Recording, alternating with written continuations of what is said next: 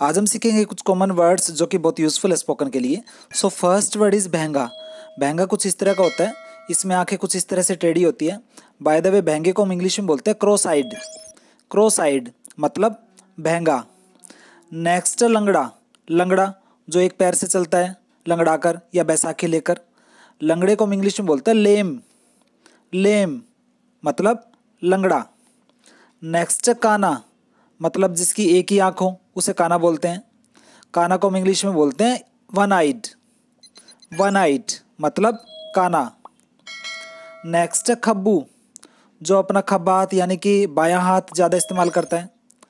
खब्बू को हम इंग्लिश में बोलते हैं लेफ्टी लेफ्टी मतलब खब्बू। और जो दायां हाथ ज़्यादा इस्तेमाल करता है उसे हम बोलते हैं राइटी राइटी नेक्स्ट गोबर, जो गाय आदि का गोबर होता है, जिससे उपले बनते हैं। गोबर को हम इंग्लिश में बोलते हैं डंग, या फिर आप इसको काव डंग भी बोल सकते हो।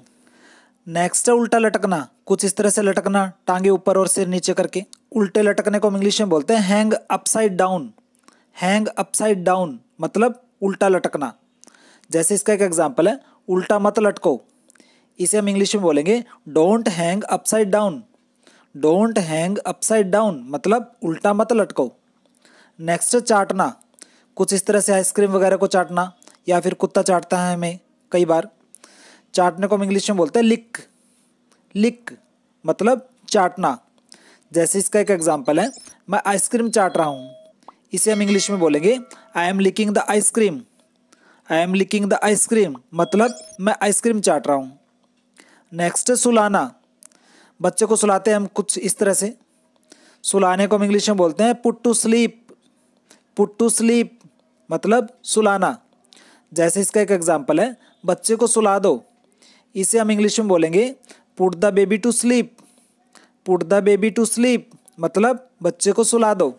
अगर आपको मेरी वीडियो हेल्पफुल लग रही है तो प्लीज़ मेरे चैनल को ज़रूर सब्सक्राइब कर दीजिए, क्योंकि मैं आपके लिए मेहनत करता हूँ। और लाइक एंड शेयर भी कर दीजिए अपने फ्रेंड्स के साथ, और बेल बटन भी प्रेस कर दीजिए, ताकि नोटिफिकेशन आपको मिल जाए। नेक्स्ट भगा देना। कुछ इस तरह से हम कुत्ते बिल्ली वगैरह को भगा देते हैं। बाय द वे भगा देने को हम इंग्लिश में बोलते हैं रन ऑफ़ रन ऑफ़ मतलब भगा देना. जैसे इसका एक एग्ज़ाम्पल है, बिल्ली को भगा दो. इसे हम इंग्लिश में बोलेंगे run off the cat run off the cat मतलब बिल्ली को भगा दो. नेक्स्ट लपेटना. कुछ इस तरह से. हम चटाई या चादर वगैरह को लपेटते हैं. लपेटने को हम इंग्लिश में बोलते हैं रोल अप रोल अप मतलब लपेटना. जैसे इसका एक एग्ज़ाम्पल है चादर को लपेट दो. इसे हम इंग्लिश में बोलेंगे roll up the bed sheet roll up the bed sheet मतलब चादर को लपेट दो। नेक्स्ट है बिछाना। कुछ इस तरह से हम कारपेट वगैरह को बिछाते हैं। बिछाने को हम इंग्लिश में बोलते हैं रोल डाउन रोल डाउन मतलब बिछाना। जैसे इसका एक एग्ज़ाम्पल है, चटाई बिछा दो। इसे हम इंग्लिश में बोलेंगे roll down the carpet roll down the carpet मतलब चटाई बिछा दो। नेक्स्ट है मरहम। मरहम जो हम घाव वगैरह पर लगाते हैं, मरहम को हम इंग्लिश में बोलते हैं ओइंटमेंट ओइंटमेंट मतलब मरहम. जैसे इसका एक एग्ज़ाम्पल है, घाव पर मरहम लगा लो. इसे हम इंग्लिश में बोलेंगे apply the ointment on the wound apply the ointment on the wound मतलब घाव पर मरहम लगा लो. नेक्स्ट रिश्ता ढूंढना. हम रिश्ता ढूंढते हैं किसी लड़के या लड़की के लिए. बाय द वे रिश्ता ढूँढने को हम इंग्लिश में बोलते हैं search the match search the match मतलब रिश्ता ढूंढना. जैसे इसका एक एग्ज़ाम्पल है, हम अपने बेटे के लिए रिश्ता ढूंढ रहे हैं। इसे हम इंग्लिश में बोलेंगे we are searching the match for our son we are searching the match for our son मतलब हम अपने बेटे के लिए रिश्ता ढूंढ रहे हैं। नेक्स्ट नींद खराब करना।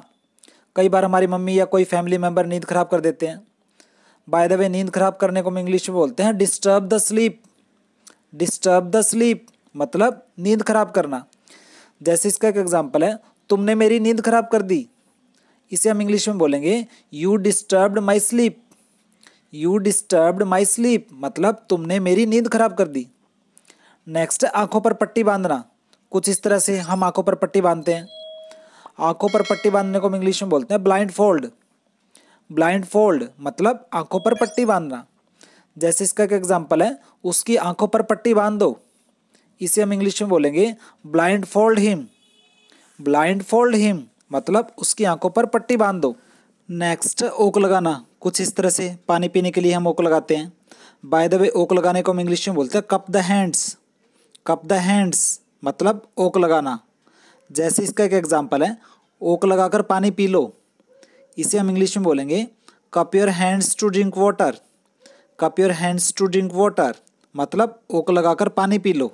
And the last one is पूछ हिलाना। कुछ इस तरह से कुत्ता अक्सर पूछ हिलाता है, जब वो हमारे साथ खेलता है। पूछ हिलाने को हम इंग्लिश में बोलते हैं whip the tail whip the tail मतलब पूछ हिलाना। जैसे इसका एक एग्ज़ाम्पल है, कुत्ता अपनी पूछ हिला रहा है। इसे हम इंग्लिश में बोलेंगे the dog is whipping his tail the dog is whipping his tail मतलब कुत्ता अपनी पूछ हिला रहा है। इन दोनों के आंसर्स राइट कर दीजिए कमेंट सेक्शन में। और अगर आपको मेरी वीडियो अच्छी लगी तो प्लीज़ जाने से पहले मेरे चैनल को सब्सक्राइब कर दीजिए लाइक एंड शेयर कर दीजिए अपने फ्रेंड्स के साथ। मिलते हैं नेक्स्ट वीडियो में। बाय